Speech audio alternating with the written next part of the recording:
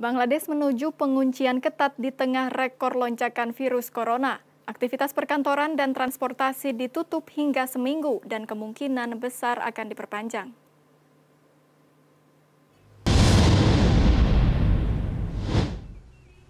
Petugas polisi Bangladesh memeriksa kendaraan dan tentara berpatroli di jalan-jalan di ibu kota Dhaka ketika negara itu memasuki penguncian ketat mulai Kamis 1 Juli dalam upaya mengekang penyebaran virus corona.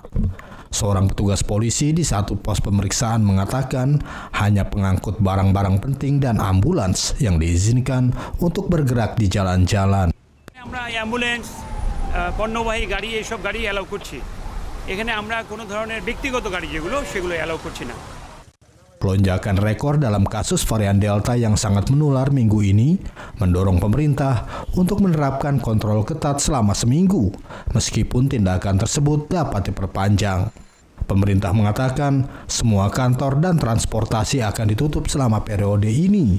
Sementara pabrik termasuk sektor ekspor garmen utama negara itu akan diizinkan tetap buka jika mengikuti protokol kesehatan. চারিদিকে লকডাউন কিন্তু আমাদের গার্মেন্টস খোলা আমরা সবাই কাজে যাচ্ছি Pada Rabu 30 Juni, negara ini mencatat 115 kematian akibat virus corona dengan 14.503 secara keseluruhan dan 913.258 kasus penularan. Dari Dhaka, Bangladesh, kontributor Nusantara TV melaporkan.